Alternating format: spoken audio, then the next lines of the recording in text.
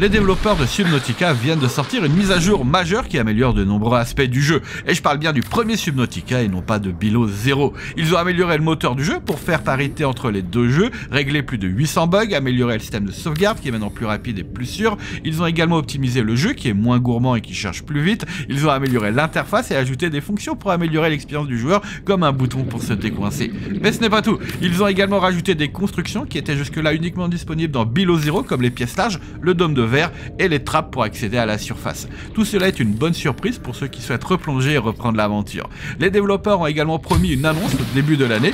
Peut-être un à 3 A voir.